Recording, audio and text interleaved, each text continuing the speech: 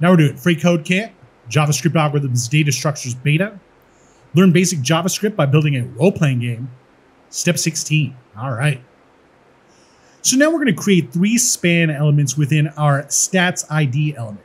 We're going to give each of them the class stat. Then we'll give the first one the text XP is zero, the second one health is 100, and the third one gold is 50. All right. So for this one, we'll start by uh, clicking inside this 12. We'll push tab to get over to where we need to be. Uh, then we will do an opening stat. Uh, stat? No, an opening span like this, and then a close span. All right.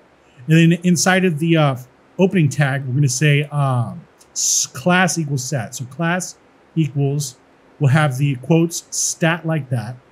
All right. And inside of here, we're going to push uh, the right arrow key two times and we'll say XP colon space zero, right? And that way we can change it up easily just by double clicking. All right. So now we're going to highlight all of 12 to the end of 11, copy that, drop it off one, two times thusly. And then for the second one, we'll, we'll change the XP to health. And then we'll double click the third one, the third XP, and change it to uh, gold. And then we'll put a five in front of the zero on the gold one, and then a 10 in front of the zero on the health one. And that should take care of it. Let's check the code. Looks good. And submit it. All right. Now we're on to step 17, and we'll see you next time.